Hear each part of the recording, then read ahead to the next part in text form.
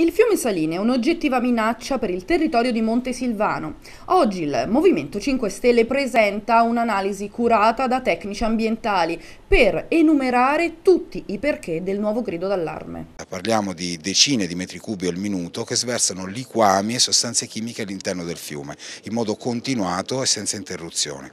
Questo tipo di problema è rappresenta una gravità estrema per il semplice fatto che l'acqua non si miscela con queste sostanze, si disperde in chiazze e oltre a danni evidenti sulla fauna e sulla flora va comunque a mm, incidere su tutte quante le realtà antropiche che hanno a che fare con quell'ecosistema.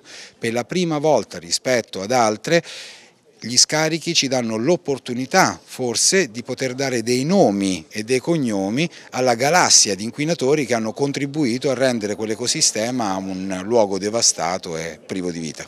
I 5 Stelle questa volta dicono qualcosa di nuovo. Questa volta si entra a gamba tesa in una situazione che rischia di trasformare il fiume in una bomba batteriologica e coinvolgono tutti, ma proprio tutti, dal Parlamento alla Regione, senza tralasciare nessuno. Mentre di solito sono stati sempre i cittadini, eh, i pescatori o gli albergatori a fare esposti, questa volta siamo noi come movimento politico ad entrare a gamba tesa nella situazione.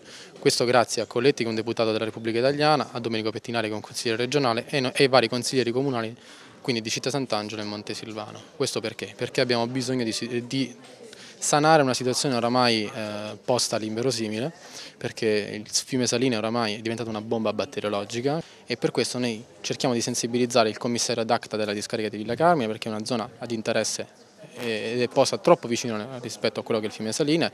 Vogliamo sensibilizzare anche il governatore D'Alfonso perché comunque nell'ultima campagna elettorale ha parlato anche più volte del fiume Saline dicendo come fosse uno dei punti più importanti al suo programma, benissimo, abbiamo bisogno di questo.